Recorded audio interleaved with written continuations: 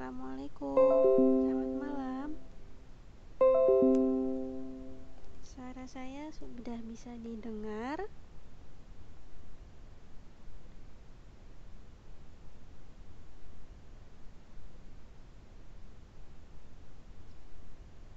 Bisa ya, oke.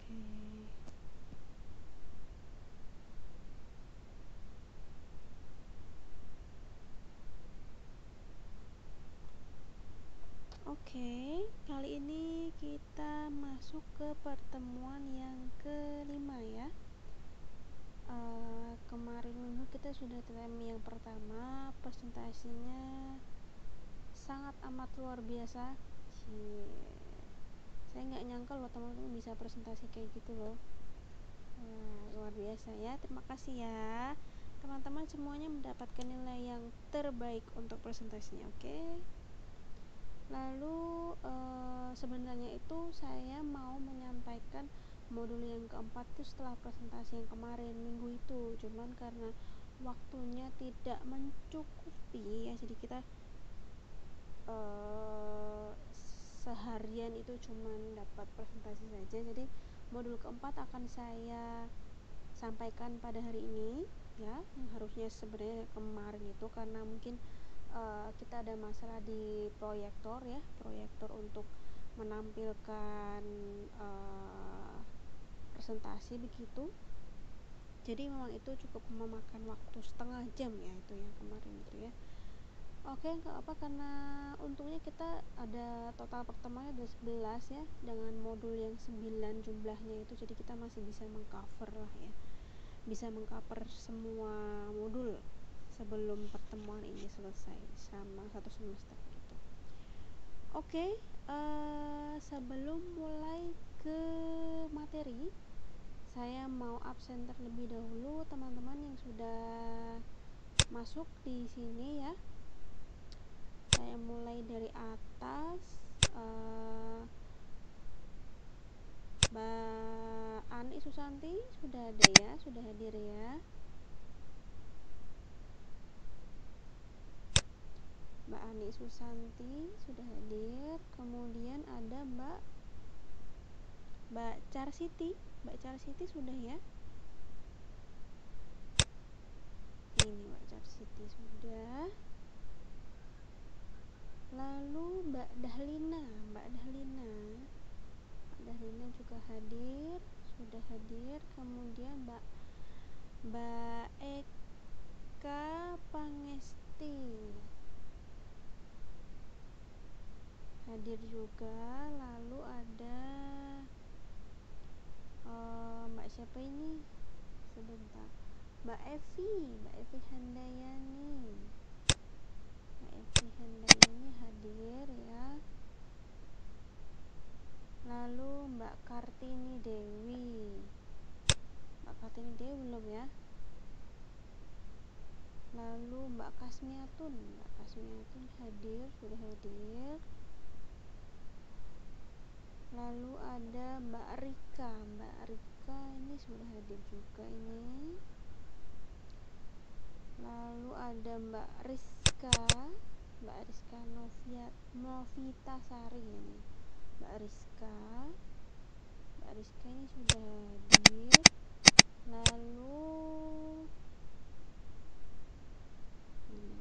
Mbak Rizka sudah hadir. Oke Mbak Siti Aisyah bukan bukan Aisyah ya Mbak Siti Aisyah. Siti Aisyah sudah hadir lalu ada Mbak Sri Mariati. Eh bukan oh belum ya Mbak Siti Omsiah nih. Siti Omsiah belum ya Mbak Siti Mbak Sri Marianti hadir. Lalu Mbak Sudarwati Mbak Sudarwati belum ya uh, Supita Mbak Supita sudah hadir. Dan juga Mbak Susanti juga sudah hadir. Yang Susan Eagles itu Mbak Susanti atau Mbak Ani Susanti? Yang nama Facebooknya itu loh. Jadi saya uh, takut ketuker ini jangan-jangan. Hmm, yang ini yang Facebook yang antara uh, Susanti atau Mbak Ani Susanti? Namanya hampir sama nih. Iya ada dua kan Susannya kan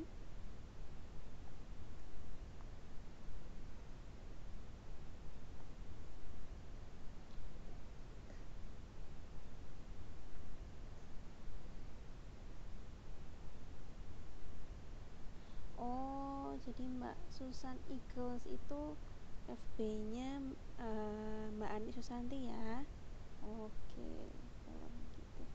Lalu Mas Pak Usnanta Pak Usnanta ini hadir sudah hadir. Mbak Yeni Mbak Yeni belum ya? Hmm,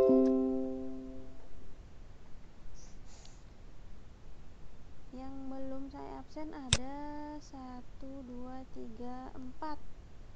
Eh satu dua tiga empat ya yang belum saya absen ya nanti mudah-mudahan di akhir uh, di akhir pertemuan ini uh, bisa saya absen. Jadi ada ada join ada hadir gitu uh, suara saya kedengaran agak lain nggak dari biasanya? Atau belum tahu ya belum bisa membedakan. Soalnya uh, kebetulan hari ini itu saya pilek lagi flu lagi. Jadi suaranya agak agak bindeng lagi. Cuman uh, alhamdulillah flu-nya itu tidak separah yang beberapa minggu yang lalu yang saya sempat. Kalau nggak salah itu minggu pertama atau kedua ya minggu pertama pertemuan kalau nggak salah ya. Jadi sekitar tiga minggu yang lalu ya. Nah itu cukup parah itu ya.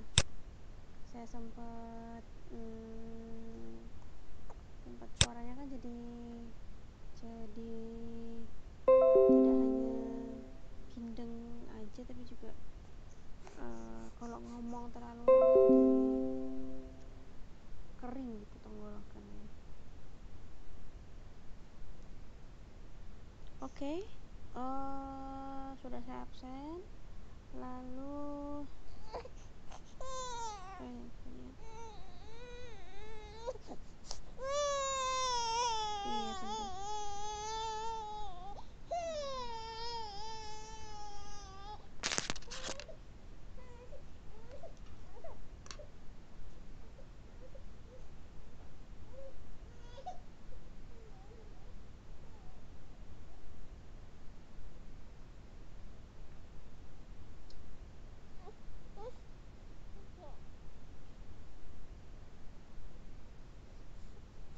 Nah, seperti biasa, karena dedek ngantuk dan belum tidur karena ibunya belum tidur, maka ada sound nangis atau kadang ketawa ya.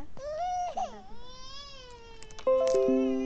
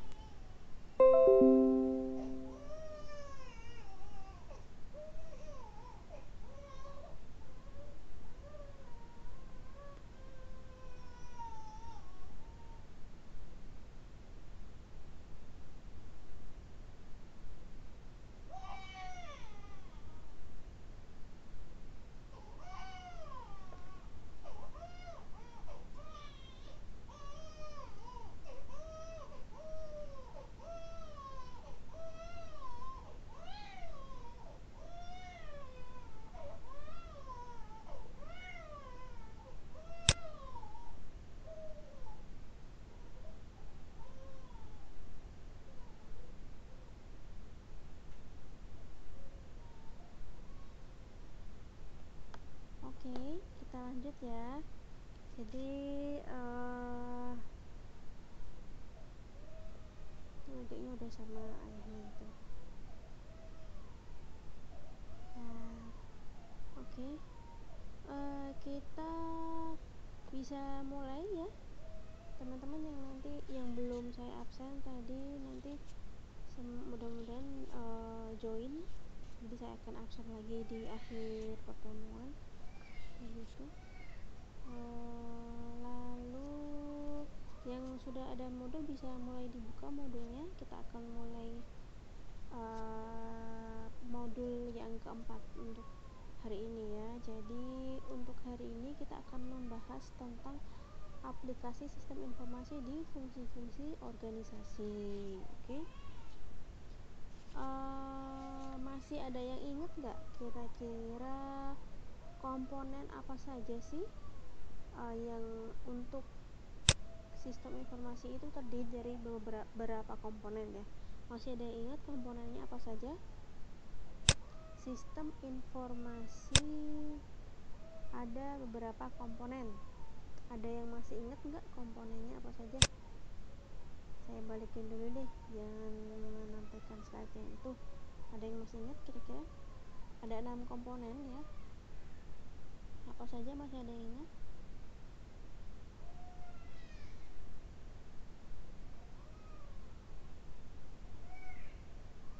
Pancing dikit ya. Kalau teman-teman ada yang mungkin udah lupa ya. Uh, ada input ada model ada output. Lalu ada juga yang namanya basis data. Nah keempat komponen ini pasti belum bisa untuk menjadi komponen yang uh, baik. Karena masih diperlukan komponen yang kelima dan juga keenam.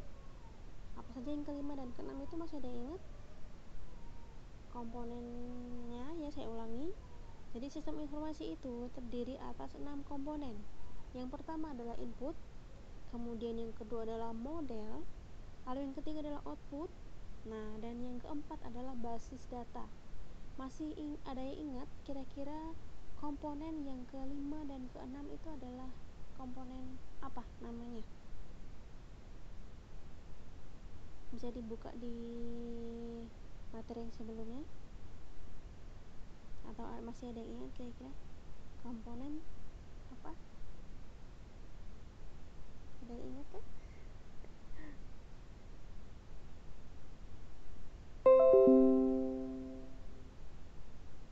Teknologi betul sekali Mbak Rika. Betul betul betul betul, betul. kayak upin upin ya betul betul betul, betul. nah satunya pengendalian betul sekali. Terima kasih Mbak Rika dan Mbak Sri Marianti betul sekali ya.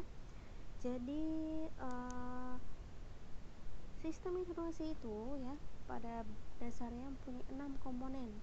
Yang pertama itu adalah input lalu yang kedua itu adalah model output basis data kemudian sebagai pelengkap dan sebagai penyempurna itu ada yang namanya komponen teknologi dan juga komponen pengendali atau peng, atau pengen atau komponen kontrol ya. Betul sekali ini ya Mbak Rika dan juga Mbak uh, Sri Marianti ya. Nah ke enam komponen ini apabila diterapkan di fungsi masing-masing fungsi dari perusahaannya. Jadi perusahaan itu kan ada berbagai macam fungsi ya. Ada fungsi pemasaran fungsi akuntansi lalu fungsi produksi. Nah, apabila keenam komponen itu diterapkan ke dalam setiap masing-masing fungsi, maka akan menjadi yang namanya sistem informasi fungsional ya. Atau jika semuanya itu digabungkan, maka menjadi sistem informasi manajemen. Nah, itu ya. Nah, ini tadi saya sebutkan. Jadi, sistem informasi ini terdiri dari enam komponen input, model, output, teknologi, basis data, dan juga kontrol.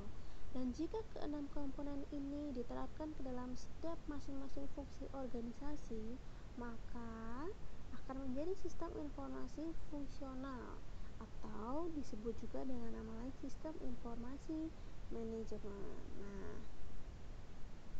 ya contohnya nih, fungsi akuntansi jika keenam komponen tersebut diterapkan ke dalam fungsi akuntansi, maka akan menjadi sistem informasi akuntansi ya seperti itu. Nah, ini ada e, beberapa sistem-sistem informasi fungsional dan aplikasinya. Nah, di sini ada contohnya ya ada fungsional akuntansi, pemasaran, sumber daya manusia, produksi atau operasi dan juga keuangan. Nah, untuk masing-masing aplikasinya teman-teman bisa baca sendiri ya. Saya bacakan contohnya. Untuk akuntansi itu ada utang, piutang, penganggaran, akuntansi biasa dan akuntansi biaya dan seterusnya ya.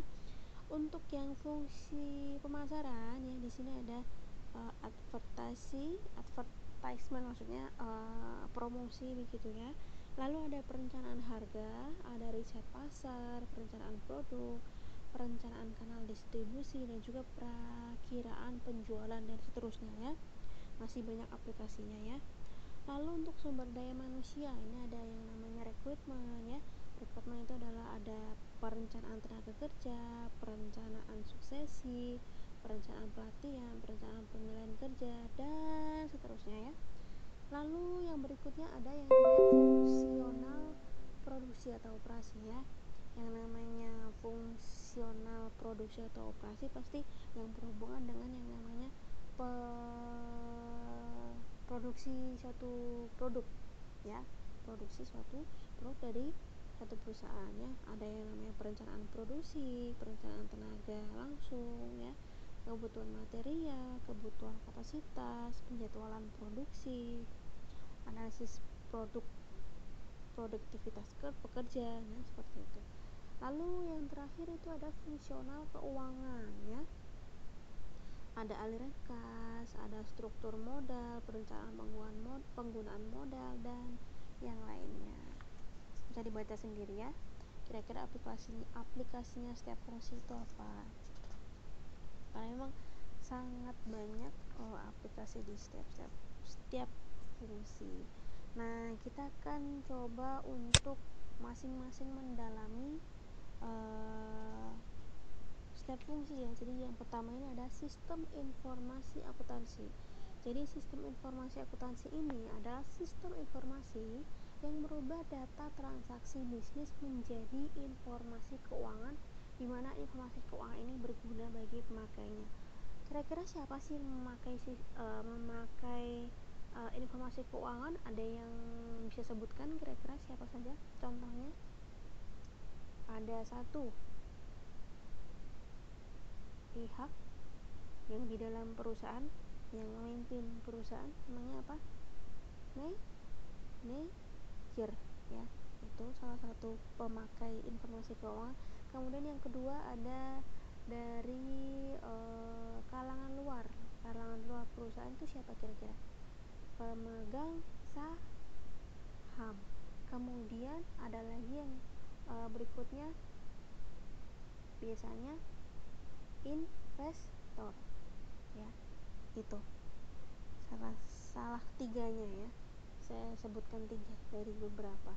Lalu uh, ini.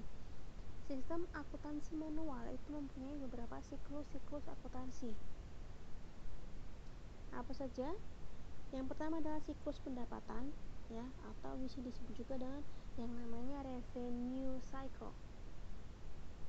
Selain siklus pendapatan ya pendapatan itu yang yang dia dapatkan ya perusahaan gitu uh, pemasukan begitu. Lalu selain pendapatan atau pemasukan juga ada yang namanya siklus pengeluaran kas atau expenditure cycle. Pengeluaran kas kemudian ada siklus juga konversi atau conversion cycle Lalu berikutnya ada siklus manajemen sumber daya manusia atau human resource management cycle. Siklus buku besar dan pelaporan keuangan atau general ledger dan and financial reporting cycle. Itu nama lainnya ya nama dalam bahasa Inggris. Nah siklus akuntansi ini merupakan uh, prosedur yang juga berfungsi sebagai penghubung antara fungsi-fungsi di organisasi. Masih ingat yang saya sebutkan sebelumnya di materi sebelumnya bahwa sistem informasi akuntansi adalah sistem informasi yang harus dikuatkan terlebih dahulu ya dalam satu perusahaan sebelum membangun sistem informasi fungsional lainnya. Masih ingat ya? Di materi sebelumnya, di modul sebelumnya. Oke, kita bisa lanjut. Nah, ini dia. Uh, siklus akuntansi ya, ada siklus pendapatan, pengeluaran, konversi, sumber daya manusia, dan juga siklus buku besar dan pelaporan. Uh, ini masuk ke dalam data keuangan ya sebagai data keuangan. Kemudian data keuangan ini akan masuk ke dalam model akuntansi dan di model akuntansi ini akan diproses sedemikian rupa kemudian akan menjadi atau menghasilkan beberapa laporan-laporan. Nah, laporannya adalah salah satunya ada yang namanya laporan-laporan operasi. Kemudian laporan-laporan pengambilan keputusan manajerial dan juga laporan-laporan stewardship. Nah, ini beberapa bentuk laporan-laporan yang berguna untuk uh, untuk manajer ya, manajemen begitu untuk sebagai referensinya pengambilan keputusan gitu. Nah, nah untuk mendukung uh, untuk mendukung eh, sorry sistem informasi akuntansi ini ya menurut Wilkinson tahun 2000 itu mempunyai tiga macam tujuan utama ya. Yang pertama adalah untuk mendukung operasi sehari-hari ya atau to support day to day operation. Eh, dan di sini ya contohnya ya ada yang namanya pemakainya ya pemakai informasinya ya. Ada yang namanya uh, karyawan ya karyawan yang mengecek atau menerima cek pembayaran ya ini karena rutin ya makanya disebut juga dengan operasi sehari-hari nah kemudian selain itu juga oh, supervisor yang memeriksa penjualan tiap harinya. Ini juga karena rutin makanya dimasukkan ke dalam uh, tipe tujuan yang pertama yaitu untuk mendukung operasi sehari-hari. Kemudian uh, yang berikutnya ada yang namanya pelanggan yang menerima faktur. Faktur juga tiap sifatnya itu juga rutin ya, sama dengan tadi uh, sebelumnya, dua yang sebelumnya. Kemudian pemasok yang menerima orden pembelian, ini juga yang rutin.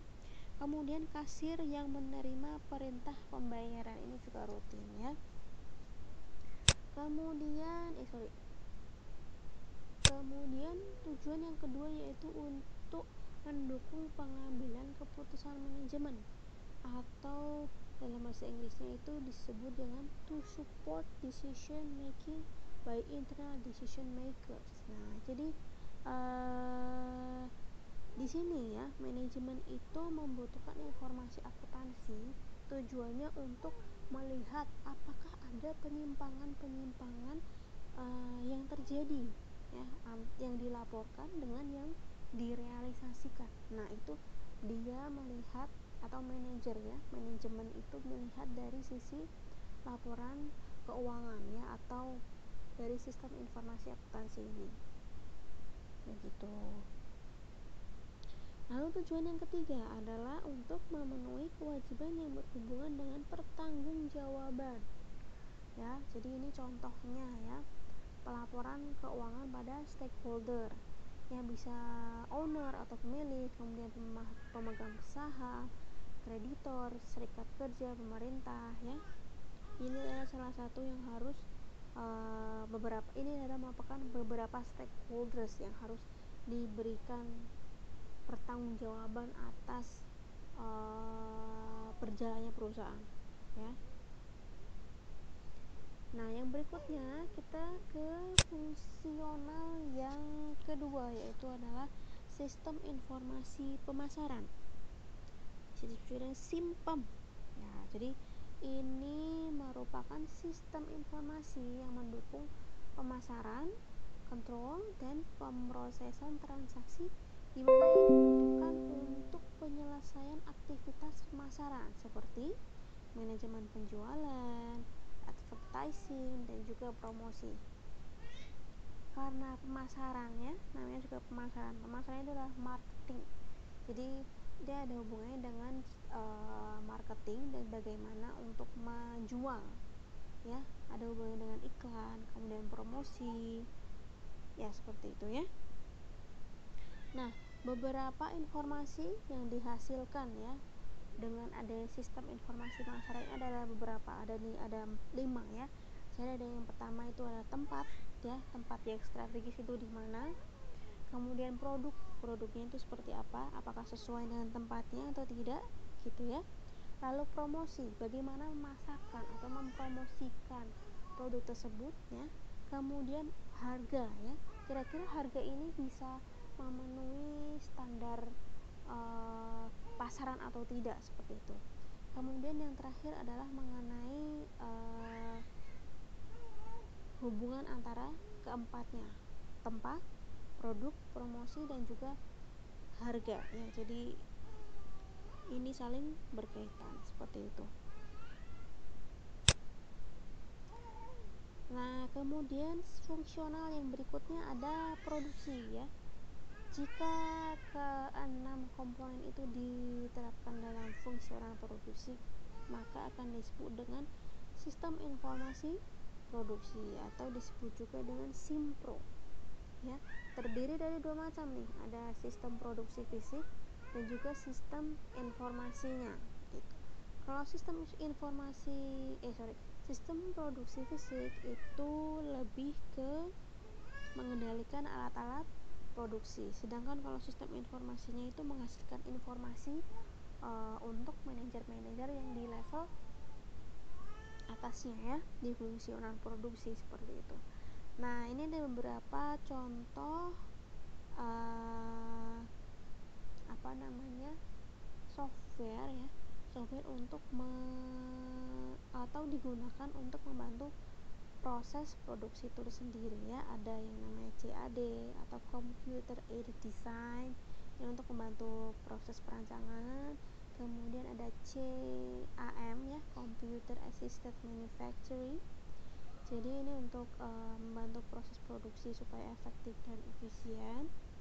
Lalu uh, selain itu juga ada penggunaan robot. Jadi robot ini biasanya untuk menggantikan pekerjaan yang membutuhkan ketelitian tinggi serta uh, mempunyai resiko yang cukup tinggi gitu ya untuk pekerjaannya ya. Jadi yang pekerjaan-pekerjaan yang cukup berbahaya apabila dilakukan oleh manusia seperti itu. Lalu ada juga yang namanya CIM jadi ini Computer Integrated Manufacturing ya. Ini ada hubungannya dengan sistem produksi fisik dengan sistem informasi uh, produksinya seperti itu.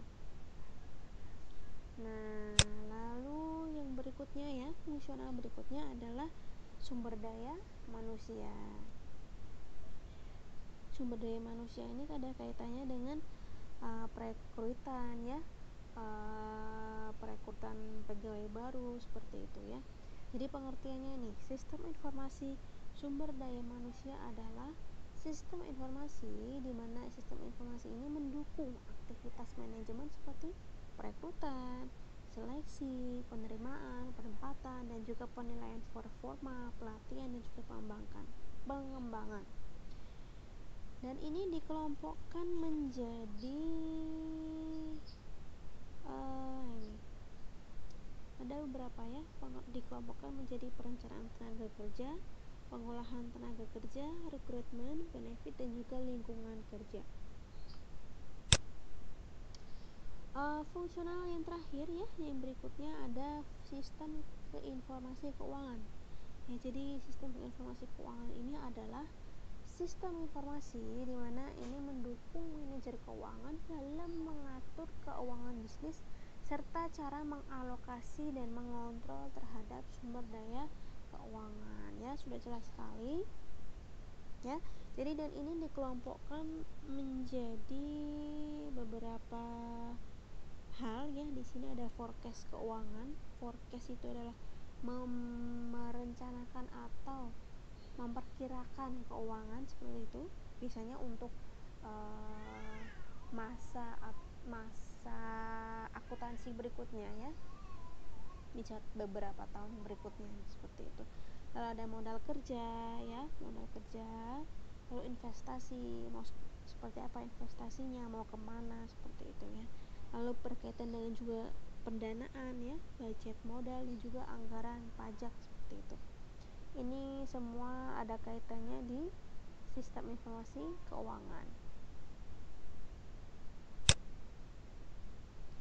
Nah, yang berikutnya ada Enterprise Resource Planning atau ERP. Jadi uh, di dalam suatu perusahaan itu kalau mau memakai uh, secara komplit ya, itu ada namanya perangkat lunak ERP. Jadi dia itu menyediakan uh, aplikasi yang secara terintegrasi ya satu dengan yang lainnya. Jadi bisa digunakan secara luas di dalam organisasi. Jadi itu ada fungsi akuntansi, keuangan, sumber daya manusia, pemasaran, logistik, semuanya ada di ERP ya. Nah, hmm, oh nih masing-masing ya jadi aplikasi di ERP di fungsi akuntansi itu ada meliputi modul-modul besar akuntansi ada piutang dagang ada utang dagang aktiva tetap manajemen manajemen kas akuntansi biaya semuanya ada di situ. Lalu juga yang berikutnya di fungsi keuangan nih ada modul-modul. Jadi ini sifatnya lebih ke modul-modul begitu ya. Jadi ini kan aplikasi begitu bisa sudah secara komplit secara terintegrasi antara fungsional yang satunya dengan yang lainnya. Jadi ada kemudian ada fungsi keuangan ya ada modul-modul analisis portfolio kemudian analisis resiko kredit manajemen aktiva sewa guna dan manajemen real estate. Nah itu ya. Dan yang berikutnya itu ada uh, di sumber daya manusia itu ada rekrutmen ya modulnya rekrutmen penggajian manajemen personil pengembangan karyawan training ya contohnya seperti itu. Kemudian manajemen kompensasi ya. Kompensasi uh, terhadap karyawan atau staffnya seperti itu. Lalu uh, di pemasaran. Untuk di fungsional pemasaran itu ada manajemen relasi pelanggan, pemasukan order dan juga pemrosesan order. Ini pemasaran. Kemudian untuk yang logistik sendiri itu ada perencanaan produksi, manajemen material dan juga manajemen pabrik ya. Oke.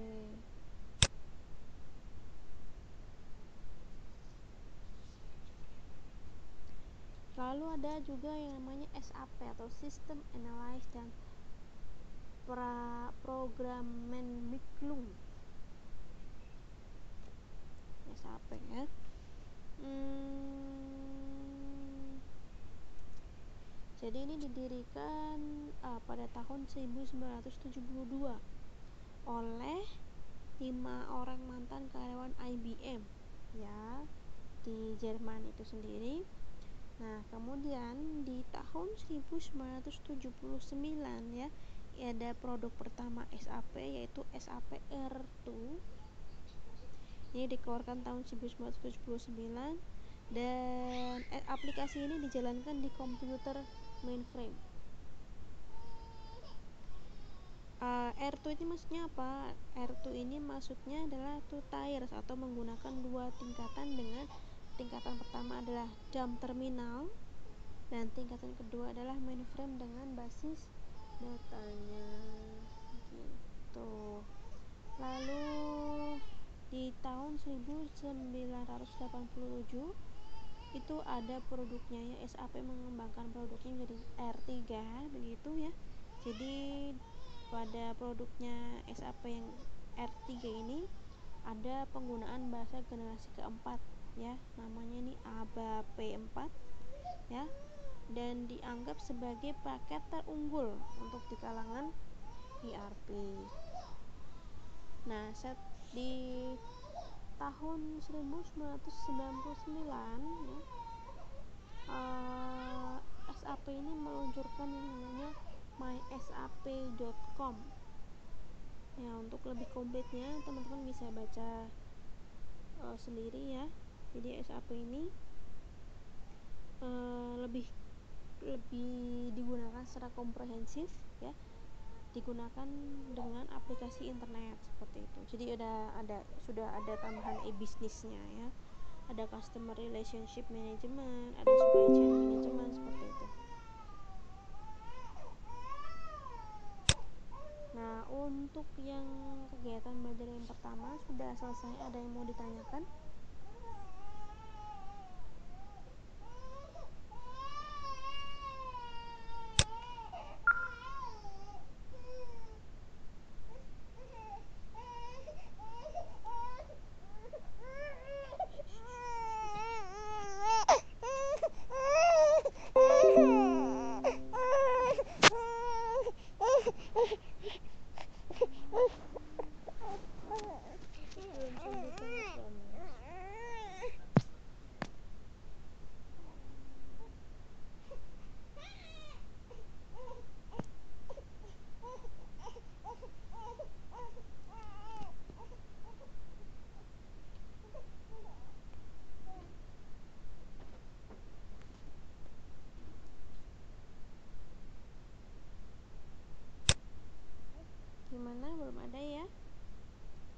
ada pertanyaan kalau belum ada maka bisa saya lanjutkan ke kegiatan belajar yang kedua ya. Di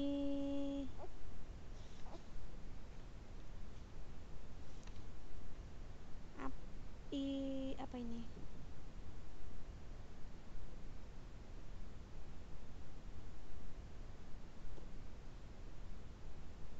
Jadi ini uh,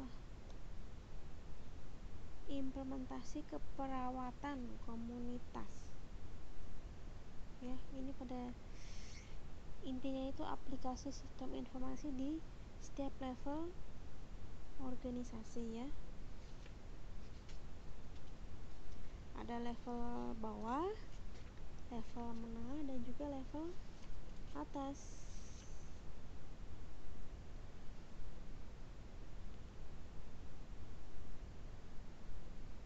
nah jadi uh, setiap setiap level itu ada beberapa kegiatan atau tipe kegiatan. Untuk yang di di level bawah ya sistem informasinya itu lebih kepada transaksi ya. Jadi ini berbasis pada yang namanya transaction processing system. Karena kalau di level bawah itu lebih detail ya jadi mulai dari transaksi begitu. Nah dari transaksi itu maka kan dipro, diproses untuk lebih lanjut. Nah makanya di untuk di level bawah ya ini basisnya itu adalah transaction processing system. Jadi yang diproses adalah transaksinya untuk sistem informasi di level menengah ya jadi ada beberapa uh, sistem informasi di level menengah ya ada SP SP itu adalah sistem pakar kemudian ada CNE CNE itu bukan yang ngirim paket itu bukan ya. CNA CNA CNA itu adalah jaringan neural artificial. Ya, uh, sekarang ini masih sangat berkembang dengan pesat neural artificial kemudian yang berikutnya ada SPK itu sistem penunjang keputusan. Lalu ada juga SPKG itu ada secara grup ya sistem penunjang keputusan grup. Kemudian juga ada yang namanya SIG SIG itu sistem informasi geografis. Oke. okay.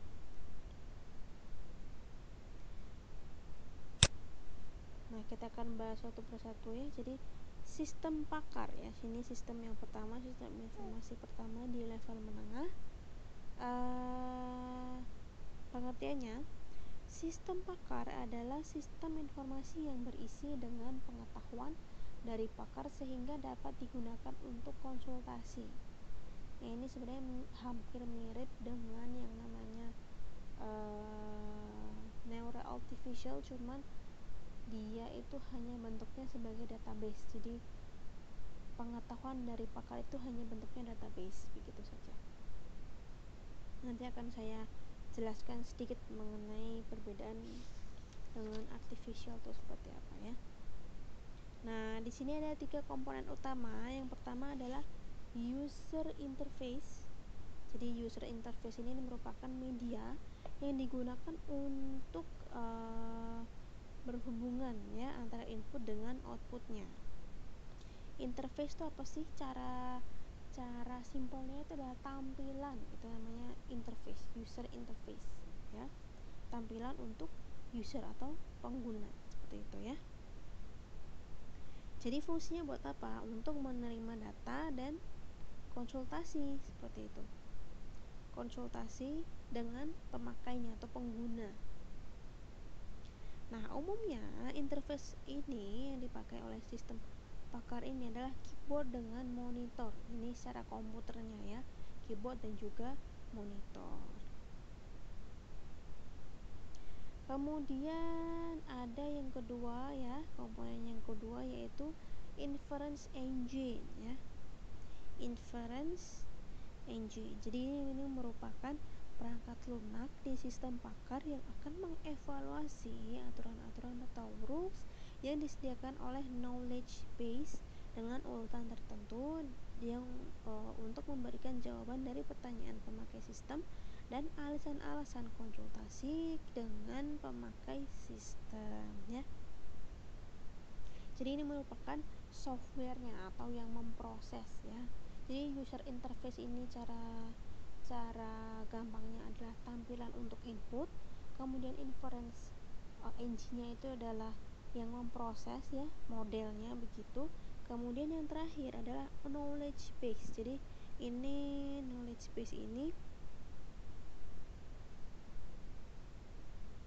merupakan uh, atau dibentuk dari aturan-aturan yang berkaitan satu dengan yang lainnya. Jadi uh, sebagai basis data begitu ya untuk menyimpan uh, pengetahuan dari pakar. Seperti itu. Lalu yang berikutnya ada jaringan neural artificial. Kalau teman-teman pernah mendengar yang namanya artificial intelligence, itu adalah uh, mesin ya sebenarnya itu mesin yang bisa belajar gitu ya jadi mesin itu nggak cuma manusia saja yang bisa belajar tapi juga mesin bisa belajar ya. Sekarang ya zamannya sekarang itu mesin bisa belajar. Jadi bisa dibuat objek mendeteksi objek ya. Kira-kira ini adalah TV ini adalah orang ini adalah lemari ini adalah kulkas seperti itu ya. Itu yang namanya artificial intelligence untuk mendeteksi sebuah objek ini ada kaitannya juga dengan jaringan neural artificial nah cuman untuk yang ini biasanya kalau di perusahaan untuk memprediksi uh, penjualan atau terkait dengan uh, apa yang akan terjadi ya jadi kayak lebih ke ramalan seperti itu ya ini ya sudah saya sampaikan juga. Jadi nah, jaringan ini merupakan jaringan buatan yang mencoba untuk jaringan neural meniru jaringan neural manusia dan juga mempunyai intelijensi yang dapat belajar dan berpikir layaknya otak manusia. Nah, nah ini ya, diprediksi ini digunakan untuk memprediksi harga saham, memprediksi kebangkrutan perusahaan, memprediksi kapan saham harus dijual atau dibeli, dan memprediksi ranking dari obligasi itu ya fungsinya dari neural artificial ini kalau dipakai lebih lebih lebih dalam ya bisa fungsinya bisa sangat banyak ya untuk perusahaan Lalu yang berikutnya ada sistem penunjang keputusan atau SPK. Bisa disebut juga dengan DSS ya, lebih populer kalau secara internasional itu uh, lebih populer dengan namanya DSS atau System Decision Support System.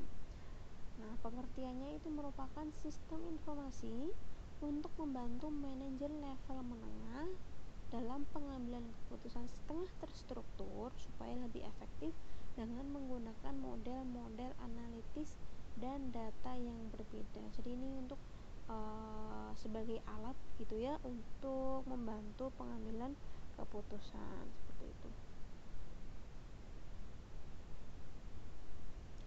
Dan di sini ada tiga komponen utama dari SPK ya. Yang pertama adalah dialog manajemen ya jadi uh, dialog manajemen ini merupakan komponen untuk berdialog dengan pemakai sistem. Kemudian ada yang namanya model manajemen. Jadi komponen ini merubah data menjadi informasi yang relevan. Itu adalah model manajemen. Kemudian yang terakhir adalah data manajemen. Jadi yang dirubah di sini adalah uh, basis data ya. Jadi basis datanya ini bisa diakses secara luas dalam satu organisasi seperti itu. Nah, SPK sendiri itu dibagi menjadi dua tipe. Yang pertama adalah SPK berbasis pada model dan yang kedua adalah SPK berbasis pada data.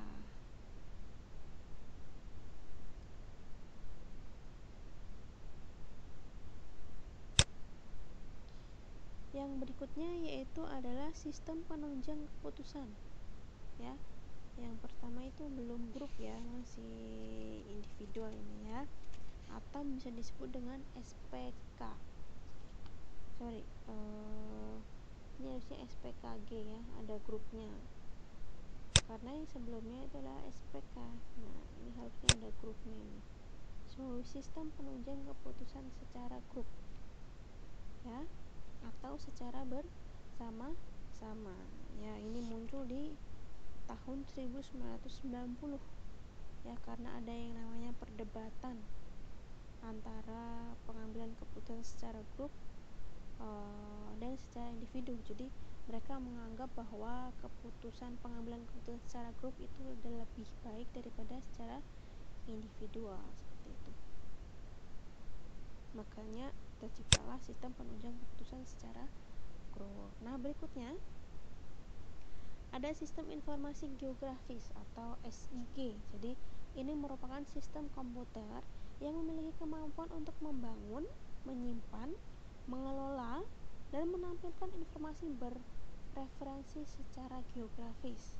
Ya, contohnya ini uh, bisa menampilkan data menurut lokasinya, gitu ya, atau uh, bisa dalam sebuah database. Nah, ini ada contohnya dari uh, perusahaan besar ya, perusahaan e-commerce terbesar ini adalah Walmart. Walmart ini mengumpulkan semua basis data di masing-masing tokonya yang tersebar di Amerika Serikat. Nah, kemudian Walmart ini melihat atau mempelajari perilaku konsumen antara waktu secara serentak. Nah, bisa digunakan peta ya. Jadi misalkan uh, untuk yang Jawa Tengah begitu. Mereka ini lebih suka membeli produk apa? Nah itu dari geografisnya ya. Kemudian dari Jawa Timur nih misalkan.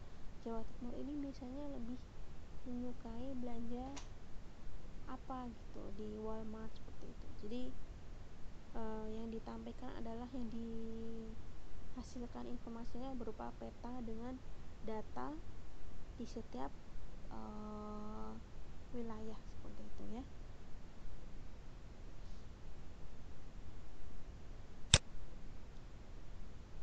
Kemudian sistem-sistem informasi di level atas.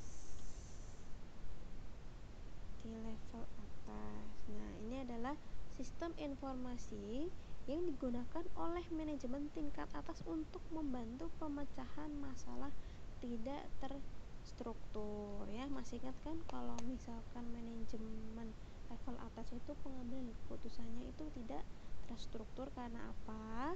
Karena eh, keputusannya itu tidak rutin serta merta. Jadi tidak selalu bisa memutuskan. Contohnya pengambilan keputusan apakah saham itu akan dibeli atau dijual. Itu kan tidak setiap hari kan atau tidak setiap bulan. Jadi itu serta merta tidak tidak rutin dan mendadak. Nah itu namanya tidak terstruktur. Nah karakteristiknya ya. Karakteristiknya ada yang bisa dibaca itu karakteristik dari sistem informasi eksekutif atau SIA itu yang pertama adalah dirancang untuk eksekutif puncak pasti. Namanya juga eksekutif gitu ya. Kemudian menggunakan data internal dan eksternal. Pasti menggunakan data internal ya. Kemudian dibandingkan dengan data eksternal. Pasti jadi tidak hanya internal tapi juga eksternal. Kemudian untuk pemecahan tidak struktur, maksudnya masalah yang tidak struktur ya, masalah yang tidak terjadi uh, secara rutin dalam suatu perusahaan. Kemudian membantu perencanaan dan perumusan strategis. Nah, ini sudah jelas ya. Lalu digunakan secara online oleh eksekutif. Harus online. Kenapa? Karena datanya itu tidak cuma internal tapi juga eksternal seperti itu ya. Lalu mempunyai kemampuan untuk mengambil dan menyaring data. Ini juga sudah jelas. kemudian mempunyai kemampuan untuk mengambil dan menggali data sampai data terkecil ya kenapa untuk membutuhkan yang namanya data yang lebih detail.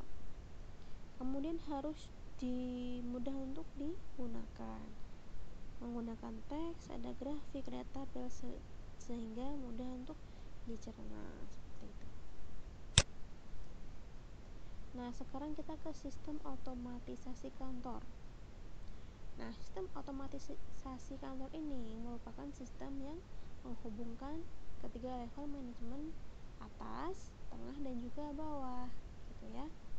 Dan ini uh, pada tahun 1996 menurut O'Brien ya sebagai uh, menurut O'Brien ini ya jadi sistem otomatisasi kantor ini diartikan sebagai sistem informasi berbasis komunikasi yang mengumpulkan, memproses, menyimpan dan mendistribusikan pesan-pesan, dokumen, dan komunikasi elektronik lainnya di antara individual, grup kerja, dan organisasi-organisasi seperti itu.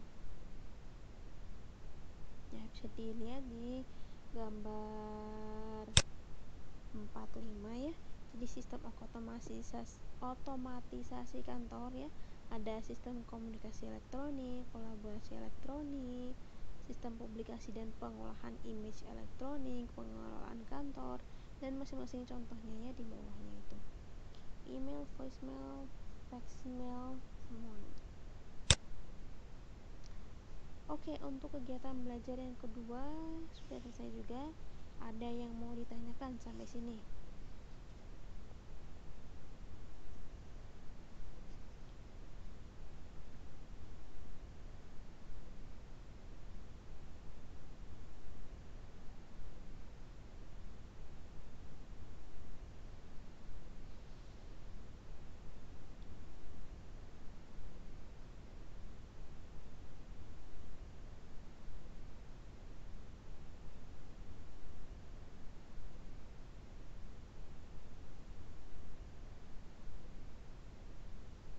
Tidak ada?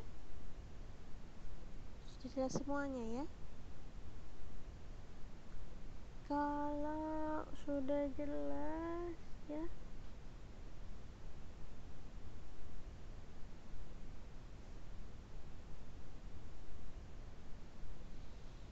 Kita mungkin bisa lanjut ke materi yang sistem informasi eh sorry uh, kegiatan belajar yang ketiga.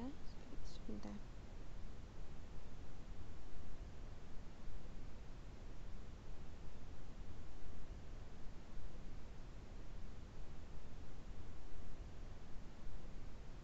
Oke. Jadi untuk kegiatan belajar yang ketiga ya jadi modul ini modul 4 ini adalah membahas tentang aplikasi sistem informasi untuk keunggulan kompetitif. Ya.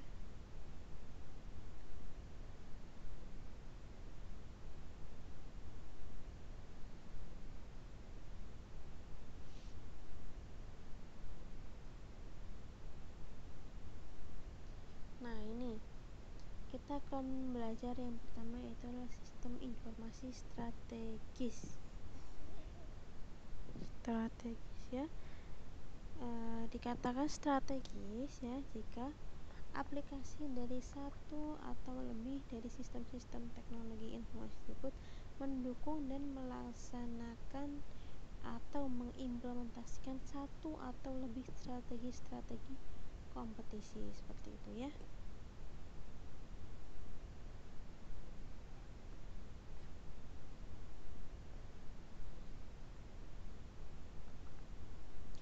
dan ini terdiri dari ada cost leadership strategy differentiation strategy focus strategy innovation alliance growth dan quality strategy ya. Ini masing-masing strategi untuk hmm, perusahaan menerapkan di mana dalam rangka untuk menghadapi pesaing-pesaingnya ya ini menurut Porter 1985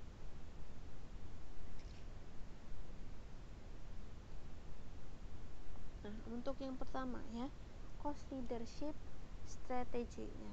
Dikatakan suatu perusahaan itu mendukung mendukung strategi ini jika telah mencapai posisi sebagai produsen dengan biaya terendah dalam industri. Caranya bagaimana supaya bisa mendapatkan biaya terendah dalam industri? Ya. Jadi ya pasti harus menurunkan biaya produksi seperti itu kan biaya produksi, kemudian biaya dari pemasok dan juga biaya ke pelanggan. Makanya bisa menjual dengan harga yang rendah.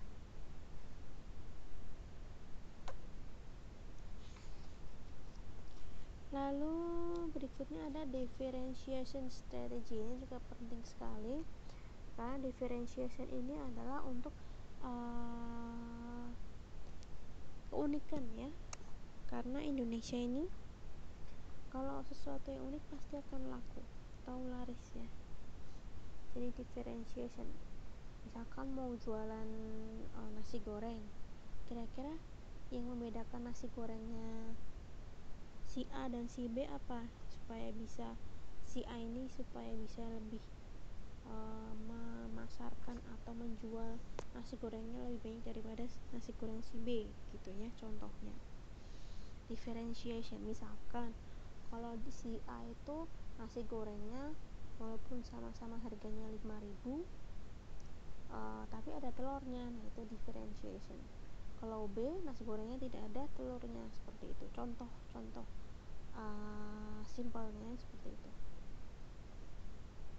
Kemudian ada fokus strategi. Nah ini juga penting. Jadi suatu sistem informasi ini uh, dikatakan mendukung strategi ini apabila membantu perusahaan untuk memfokuskan produknya hanya di satu uh, khusus di dalam organisasi ya jadi memang harus fokus terlebih dahulu itu sangat penting. Jadi teman-teman kalau misalkan mau uh, bergerak mau menjual mau membuka usaha di bidang misalkan furniture ya harus teman-teman itu harus konsentrasi harus fokus. Yang dikerjakan ya furniture saja tapi jangan sampai melebar ke mana-mana. Ya furniture ya baju ya akan akan terpecah-pecah konsentrasinya seperti yang tidak fokusnya seperti itu. Lalu ada yang namanya innovation strategy. Innovation ini juga hampir sama dengan differentiation cuman inovasi ini adalah membuat sesuatu yang baru. Innovation inovasi itu adalah membuat sesuatu yang baru seperti itu. Yang belum ada di pesaing-pesaingnya. Nah ini juga uh, merupakan salah satu strategi untuk bisa unggul dalam suatu pasar ya kemudian yang berikutnya ada alien strategy. Nah ini merupakan uh, aliens itu ada apa sih? Katanya uh, dari kata aliens aliens itu adalah hmm, kerjasama bukan sih? Kerjasama atau teman aliens aliens ya jadi diartikan itu merupakan hubungan kerjasama yang menguntungkan dengan pemasok ya hubungan kerjasama gitu ya bisa dengan pemasok, bisa dengan perusahaan lain atau dengan pesaing. Seperti itu ya. Lalu yang berikutnya ada growth strategy ya. Ini merupakan uh, sistem informasi dikatakan mendukung strategi ini apabila membantu mengembangkan dan mendiversifikasi pasar. Contohnya, perusahaan yang melakukan strategi adalah Citicorp yang menggunakan ATM pertama kali di kota New York untuk mendapatkan banyak nasabah baru. Nah, seperti itu ya contohnya. Growth strategy.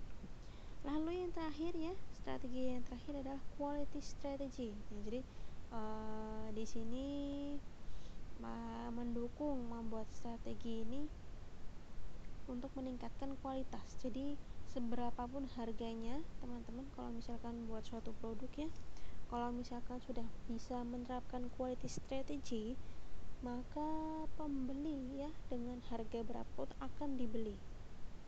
Gitu ya. Itu nih namanya quality strategy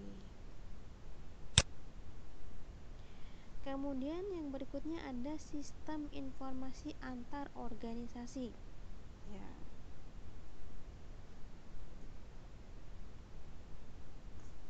Jadi ini merupakan sistem penghubung perusahaan dengan pelanggan ya secara online.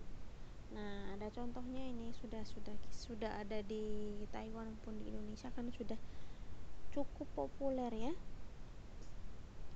Nah, teman-teman kalau misalkan membeli tiket tiket pesawat ya, sekarang tidak perlu teman-teman itu harus beli on the spot atau harus beli di bandara.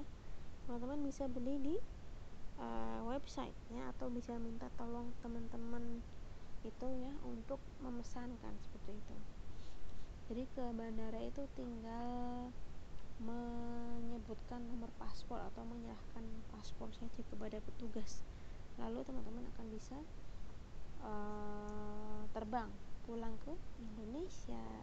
Nah ini contohnya. Lalu uh, nih hmm, hmm, hmm. lalu eh Nazra kedengeran dek ya oke ya kita lanjut ya lalu uh,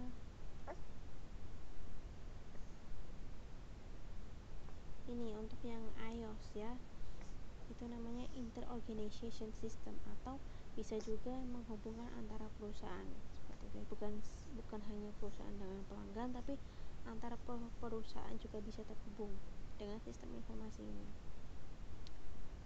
mm -mm.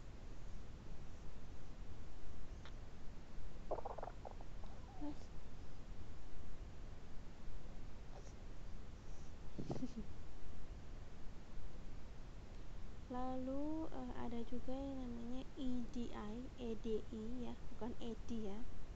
Itu namanya Electronic Data Interchange.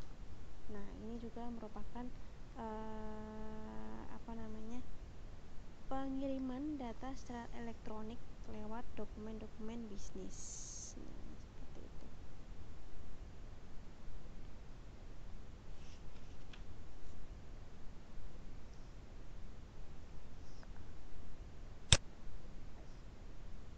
Nah, ini ada beberapa keuntungan uh, dengan pen, dengan adanya EDI ya. Yang pertama yaitu dengan uh, dengan adanya EDI itu bisa mempercepat kegiatan bisnis. Lalu juga uh, mengurangi modal kerja yang dibutuhkan. Ya. Sudah mempercepat kegiatan bisnis ya karena karena secara online begitu secara elektronik maka juga bisa mengurangi modal kerja yang dibutuhkan. Nah, selain itu juga hemat biaya pastinya ya. Lalu untuk juga meningkatkan hubungan dengan pelanggan dan pemasok karena online, maka maka hubungan yang terjalin dengan pelanggan dan pemasok itu juga lebih baik. Nah, selain itu juga memungkinkan untuk melakukan yang namanya perdagangan secara internasional. Jadi bisa memasarkan produknya ke luar negeri ya secara internasional seperti itu. Oke, sudah selesai dengan materinya. Ada yang mau ditanyakan? Eh. Apa ini?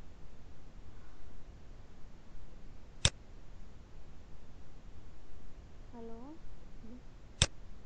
ini hmm. pencet ternyata ya.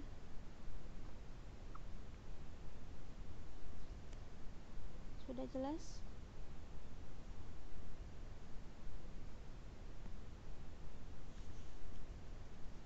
Sebentar ya saya mas bentar deh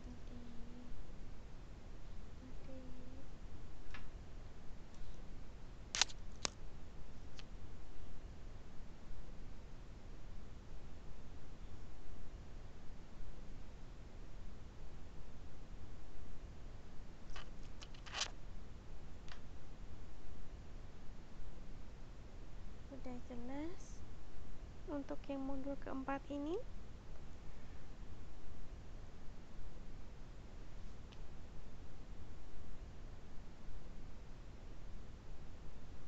Nah, saya itu kemarin uh, janji ya mau menjelaskan ada yang kemarin kan teman-teman sudah uh, presentasi itu bagaimana uh, teknologi yang di penerapan teknologi untuk memasarkan atau uh, apa ya ya untuk memasarkan ya produknya supaya bisa me, me, meraih atau meraup untung yang lebih besar atau meraup pembeli yang lebih banyak. Gitu ya ada yang ada yang dengan sosial media ada website lalu ada juga sebentar saya ambil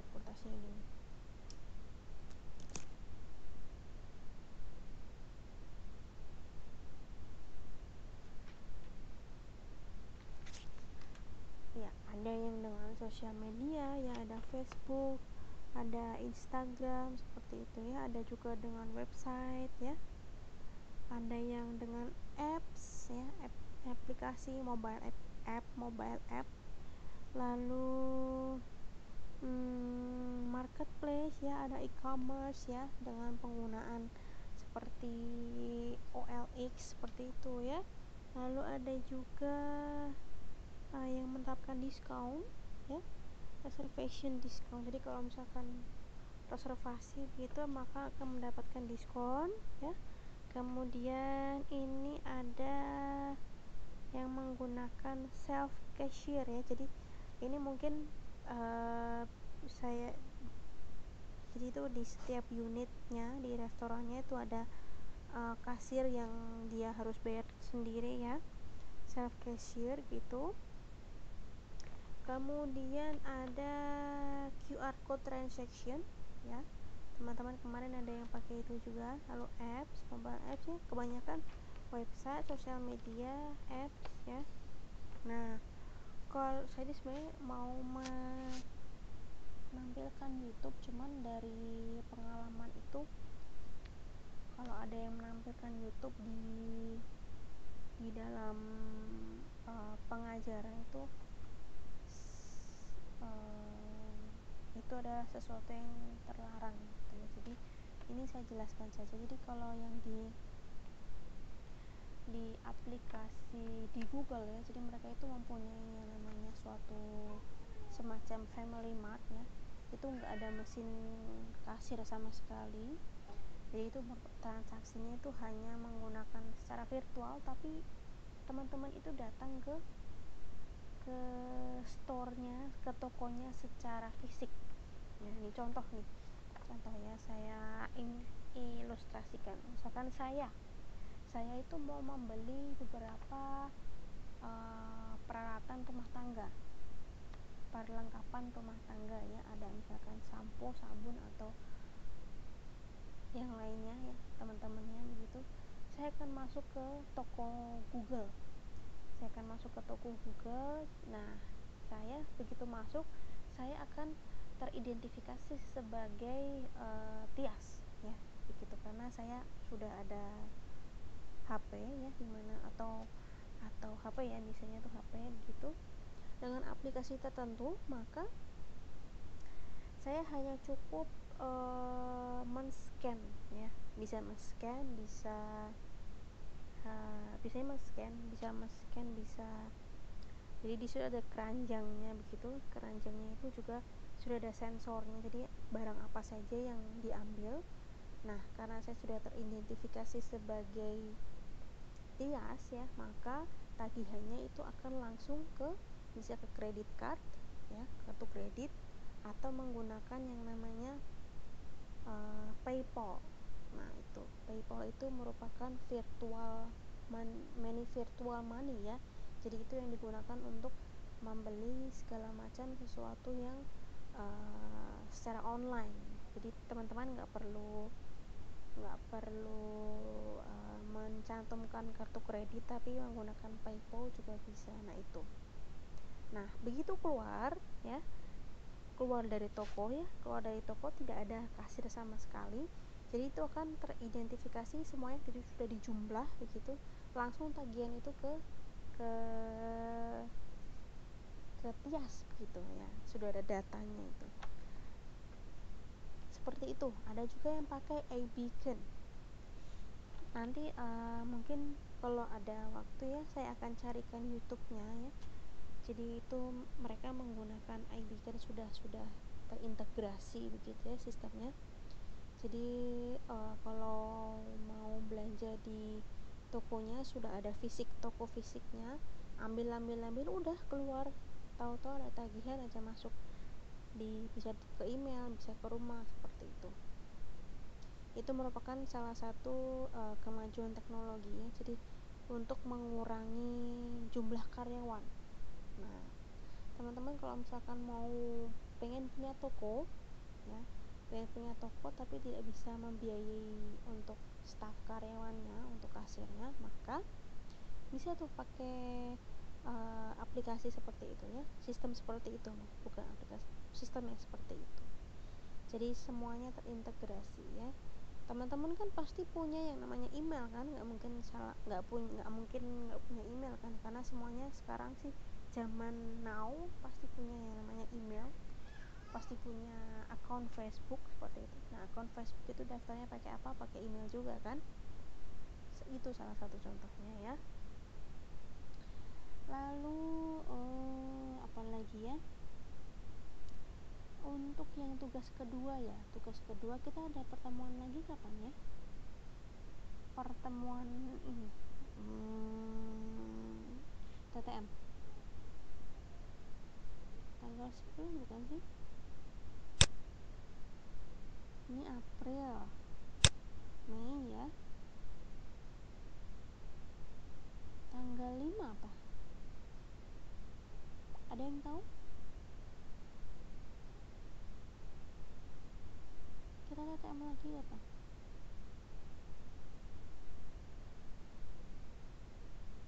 halo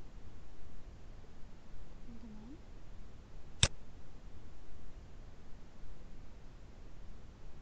tanggal 5 ya betul ya tanggal 5 ya nah saya kira eh berarti 5 Mei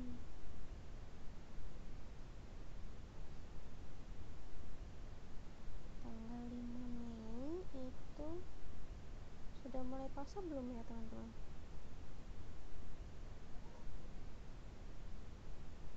Belum ada pengumuman ya? Kira-kira kapan sih mulai puasanya itu? Oh puasa tanggal 6 ya? Oh oke okay, oke. Okay. berarti ya tanggal 5 tanggal 5 malamnya itu sudah mulai sahur ya? Terus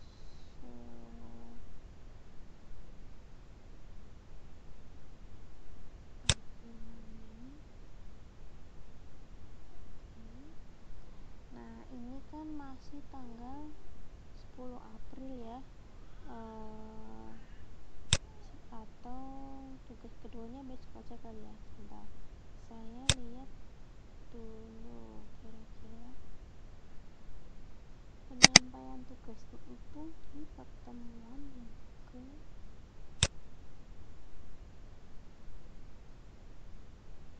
pertemuan yang ke oh ke 6 atau ke 7 lah ya. Oke. Okay.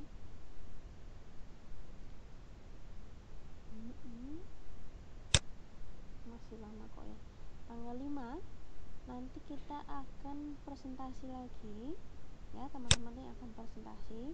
Lalu saya akan usahakan kalau kemarin itu kan memang terlalu panjang ya kita kita sudah makan waktu di proyektor karena proyektornya tidak bisa uh, buat presentasi begitu. Jadi mau waktu nah kemarin tuh makan waktu setengah jam tuh ada loh itu. Setengah jam ya. Uh, semoga di tanggal 5 sorry tanggal 5 Mei itu tidak terjadi seperti itu lagi. Jadi kita bisa langsung presentasi ya. Jadi kita akan maksimalkan waktunya. Jadi harus 10 menit. Presentasi 10 menit masih sama. Cuman nanti materinya apa yang harus dipresentasikan nanti akan saya uh, sampaikan lebih lanjut di pertemuan berikutnya atau nantilah ya gampang uh, setiap kelompok presentasi selama maksimal 10 menit ya kemarin karena saya agak longgar uh, maksudnya tidak tidak terlalu ketat dalam waktu akhir alhasil uh, kitanya tidak bisa membahas modul keempat ya gitu. Kalau besok sih kalau bisa kalau bisa nanti selain presentasi setelah presentasi kita akan pembahasan modul seperti itu nah eh, lalu apa lagi? Oh ya itu tugas kedua ya. Kemudian tugas ketiga nanti itu adalah tugas individu. Gitu. Tugas individunya apa nanti akan saya sampaikan. Pada waktunya. In time. Oke okay, uh, eh, apalagi ya? Ini kira-kira masuk semua nggak ya kayaknya ada satu yang nggak nggak hadir ya. Boleh saya tahu kira-kira? Boleh saya tahu kira-kira uh, siapa yang tidak hadir nih? Oh ini Mbak Rizka. Kalau ngomongin puasa jadi ini ya jadi kayak deg-degan gitu ya. Deg-degan karena senang kan ya semoga karena senang ya karena mau puasa ya. Habis puasa kita lebaran. Lebaran? Di teman-teman ada yang bisa pulang ke Indonesia nggak selama lebaran besok itu?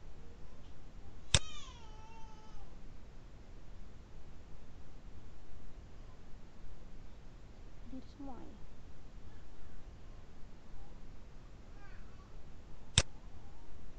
atau nanti mau lebaran di Taiwan ini sembari saya absen ya. Tadi yang saya absen itu ada oh iya ya. Hmm, Mbak Rizka udah berapa tahun di Taiwan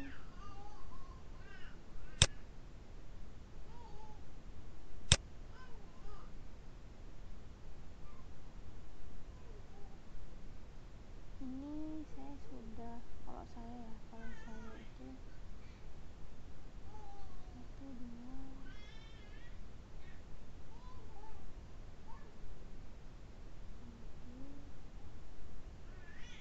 satu dua tiga uh, tahun ketiga tahun ketiga puasa dan lebaran ya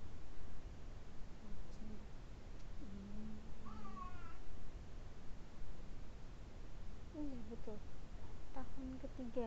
Jadi nanti jadi besok itu saya tahun ketiga puasa dan juga lebaran. Hmm, saya absen ya. Ini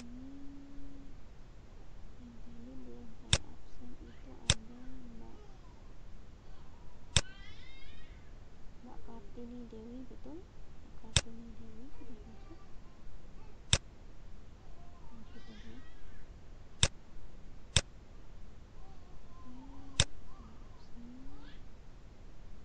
lalu Mbak Siti Omsiah Mbak Siti Omsiah kayaknya tadi ada oke ada lalu Mbak Sudarwati Mbak Sudarwati oke ada ya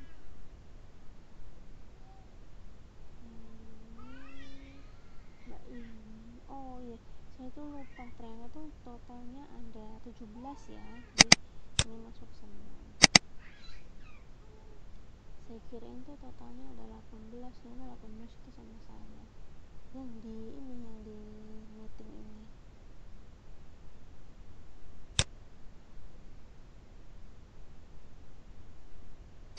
oke masuk semua ya hmm, dari materi 1 modul 1 sampai 4 kira-kira ada yang mau ditanyakan nggak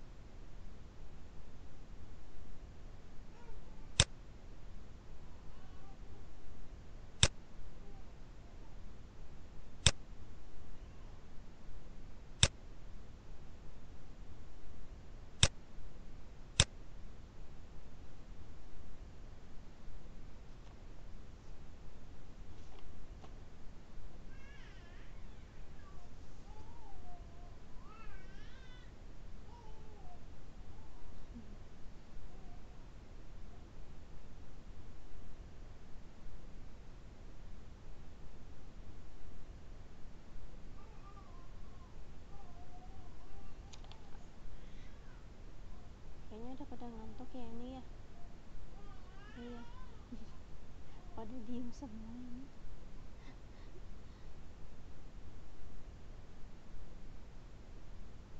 Jelas ya.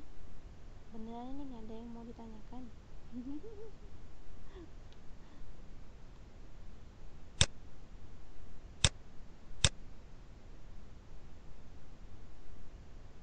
Dan saya sebenarnya juga udah pada nggak udah udah ngantuk ini si dedek juga tuh. Si dede bayi kalau ibunya belum tidur nggak bakal tidur dia tuh masih masih masih bercanda ria. Belum ya? Sudah jelas ya? Atau mau selesai lebih awal? Gimana teman-teman saya minta izin dulu eh saya tanya dulu ke teman-teman kalau misalkan ini selesainya sekarang kira-kira bagaimana?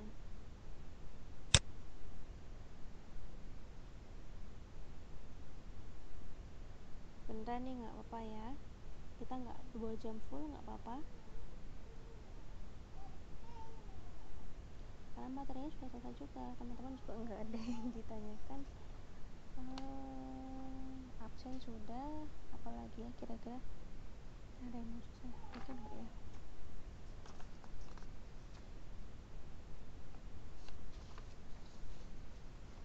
Iya materinya udah selesai.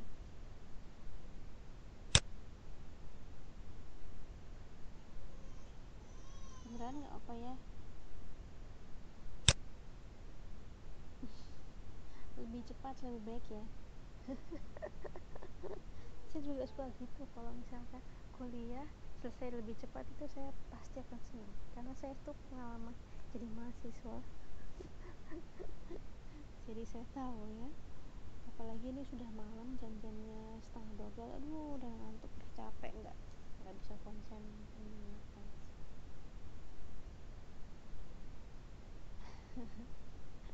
oke ya kalau gitu uh, saya akhiri ya teman-teman sudah sudah malam ini sudah mulai ngantuk nih sudah tidak ada yang perlu saya sampaikan lagi karena materinya sudah selesai. Uh, oke okay, teman-teman terima kasih sudah hadir di uh, pertemuan kita yang kelima ini total yang kelima ya. Semoga apa yang kita sudah pelajari ini bermanfaat uh, ke depannya ya terutama untuk teman-teman yang akan membangun usaha di kemudian hari setelah pulang ke Indonesia seperti itu ya. Oke uh, sudah malam ya. Terima kasih semuanya. Uh, saya tutup. Wassalamualaikum warahmatullahi wabarakatuh. Selamat malam selamat beristirahat semuanya ya. Terima kasih. Ya silahkan uh, meninggalkan ruangan meeting ya. Terima kasih semuanya.